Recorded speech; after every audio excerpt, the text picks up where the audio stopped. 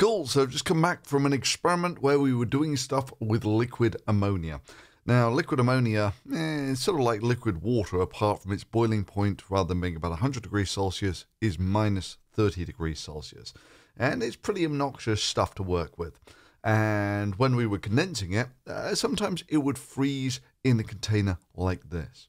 And here you get the first thing that's obviously different between liquid ammonia and solid ammonia and liquid water and solid water is frozen solid ammonia ice sinks in ammonia, whereas, of course, ice floats in water.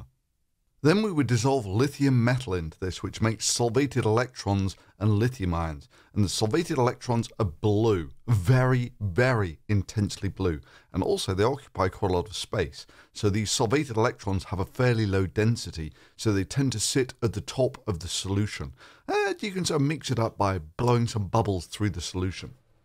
So that intense blue color there, those are the solvated electrons. And that's one of the things that we were really interested in studying. Incidentally, all of these solvated electrons are incredibly air sensitive. So all of this has to be done in an air-free environment. So the bubbles I'm actually blowing through there are actually slightly higher pressure ammonia than is in the top of the vessel.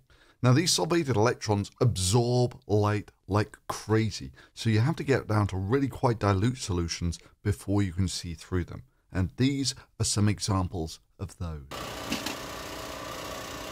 He is gorgeous. almost transparent, so we can almost Uh, see through. yeah, I mean the Really low reflections concentrated. on the bottom. Yeah, look at this. Look at this. Yeah, that's brilliant.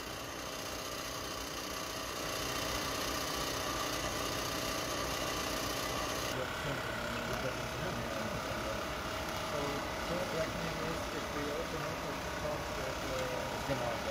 Uh-huh. let's go bubbles.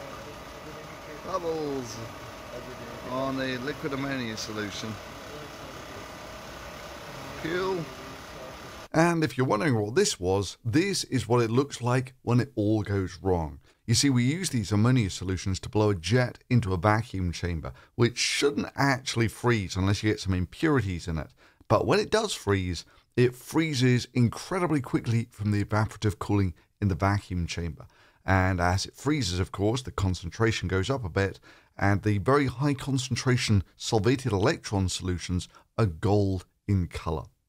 And then, if the if the vacuum's not so good, eh, they kind of react away with the oxygen in the chamber, and they go greyish in colour. And of course, there is no prohibition about things going completely pear-shaped when there's no lithium dissolved in the ammonia at all, and you just end up with a great big pure white ammonia snowball. So that was just some neat footage from the most recent experiment. Hope you enjoyed it. If you did, drop a thumbs up on it and thanks for watching.